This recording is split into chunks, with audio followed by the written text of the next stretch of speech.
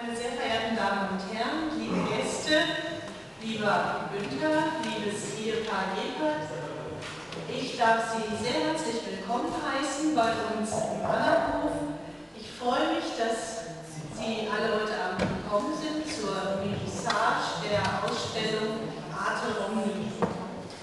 Im Namen des Evangelischen Forums Annahof und im Namen des Teams vom Annapunkt sage nochmal herzlich willkommen. Ich glaube, was uns heute Abend erwartet, ist eine Premiere im Haus.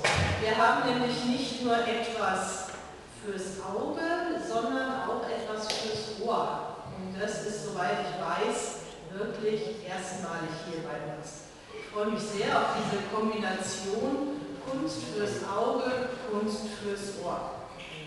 Und unsere jungen Gäste da hinten, die heiße ich auch sehr herzlich willkommen. Ich freue mich, dass auch ihr Interesse habt. Aber es wäre schön, wenn ihr eure Aufmerksamkeit dann auch dem, was hier vorne passiert, schenken würdet und vielleicht noch ein bisschen leiser könntet. Nun wünsche ich allen